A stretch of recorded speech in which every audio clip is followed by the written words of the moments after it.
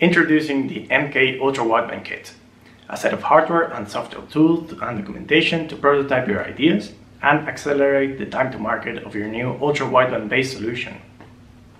The first thing you see in the kit are three tags, each equipped with an RSR150 ultra wideband chip from NXP. Next to the tags, you also get a USB flash drive with all of the software, SDKs, examples, demo applications, and reference documentation you will need to use the kit. The kit also contains an antenna board with antenna connectors and footprint to assemble an ultra-wideband module. You also get another antenna board with a pair of SMD antennas and an ultra-wideband module on it ready to be used. You also get a shield with a socket to connect an antenna board with a module on it. And finally, a spare ultra-wideband module that can be assembled into your own design. So after reading the quick start guide included in the USB flash drive, you are ready to run the demo scenarios delivered with the kit. The first one is the device-to-device -device scenario, in which ultra-wideband is used to track the distance between two tags. Start by powering up a tag by inserting a coin cell battery. It will blink green three times after booting up. Repeat the same process on a second tag and after a few seconds the green LED will flash to indicate that the two tags have detected each other over ultra-wideband. The next demo scenario is the mobile-to-device use case, which demonstrates 2D localization of an ultra-wideband tag using a phone. Start by preparing the shield and then connect it to the phone. Power up a tag and select the mobile-to-device use case by pressing the button on it.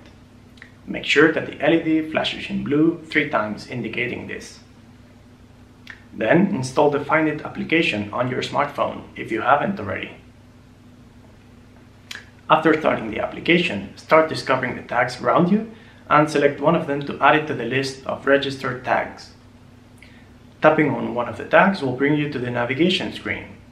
After a few seconds to set up the devices, the application will show you the direction and distance to your tag.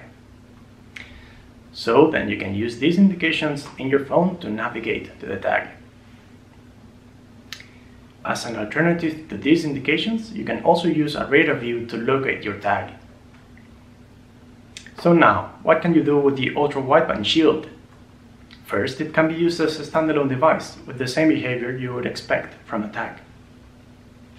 Second, by using a USB or Bluetooth Low Energy connection, it can be used to enable ultra-wideband capabilities in any smartphone you want. And finally, thank, thanks to the Arduino connectors, it can be used along with other development boards, which allows you to combine ultra-wideband with other technologies. You can use the development tools including the kit to ease the integration and testing of the tag and the ultra-wideband module into your own solution.